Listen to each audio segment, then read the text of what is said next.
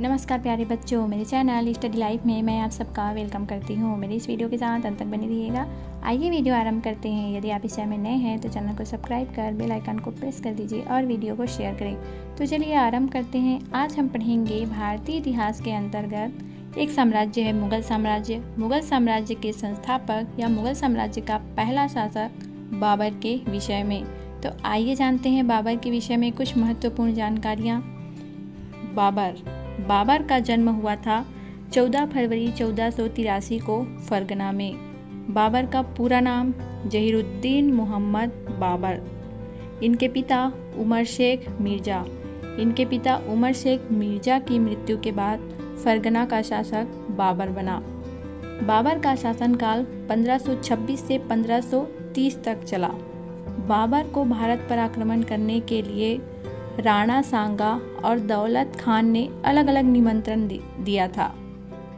बाबर ने चार महत्वपूर्ण युद्ध लड़े, जो इतिहास के दृष्टिकोण से बहुत ही महत्वपूर्ण हैं और चारों युद्ध में बाबर विजयी हुआ था। तो आइए देखते हैं पहला युद्ध। पहला युद्ध लड़ा था बाबर ने पानीपत का प्रथम युद्ध। पानीपत का प्रथम युद्ध लड़ा गया था इब्राहिम लोदी और बाबर के बीच। यह युद्ध हुआ था 21 अप्रैल 1526 को। इसी युद्ध में बाबर ने पहली बार तोप खाने का प्रयोग किया था और इब्राहिम लोदी को मारकर दिल्ली पर अधिकार किया था। अब सेकंड आता है आपका खानवा का युद्ध। खानवा का युद्ध हुआ था 17 मार्च 1527 यह युद्ध बाबर और मेवाड़ के राणा सांगा के बीच लड़ा गया था। इस युद्ध में बाबर विजयी हुआ था। यह युद्ध जीतने के बाद बाबर ने गाजी की उपाधि धारण की थी। थर्ड आता है आपका, चंदेरी का युद्ध। चंदेरी का युद्ध हुआ था 29 जनवरी 1528 बाबर और मेदेनी राय के बीच, जिसमें बाबर ने मेदेनी राय को परास्त किया था। अब फोर्थ आता है आपका, घाघरा का युद्ध। घाघरा का युद्ध हुआ था 6 मई पंद्रह जिसमें बाबर ने बंगाल की संयुक्त सेना को परास्त किया था।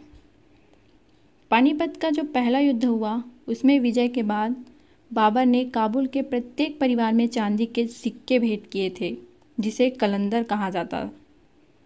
और खानवा विजय के बाद बाबर को गाजी की उपाधि दी गई थी। 1530 में बाबर की अचानक मृत्यु हो गई। उनके शव को पहले आगरा के आराम बाग में दफनाया गया, फिर बाद में काबुल में दफनाया गया। सड़कों की माप के लिए गाज ए बाबरी का प्रयोग किया। और पानीपत का जो पहला युद्ध हुआ था, उसमें बाबर ने पहली बार तोप खाने का प्रयोग किया था। बाबर के चार पुत्र थे, हुमायूं, कामरान, अस्करी और हिंदाल बाबर ने अपनी आत्मकथा तुर्की भाषा में लिखी थी, जिसे बाबर नामा कहा जाता है, जिसका फारसी भाषा में अनुवाद अब्दुल रहीम खान खाना ने किया। बाबर के बाद उत्तराधिकारी हुमायूं हुआ। कमेंट सेक्शन में बताइएगा कि जानकारी आपको कैसी लगी। इसी प्रकार की और जानकारियाँ प्राप्त करने के लिए हमारे चैनल को सब्सक्राइब करें, वीडियो को लाइक और शेयर करना न भूलें। धन्यवाद।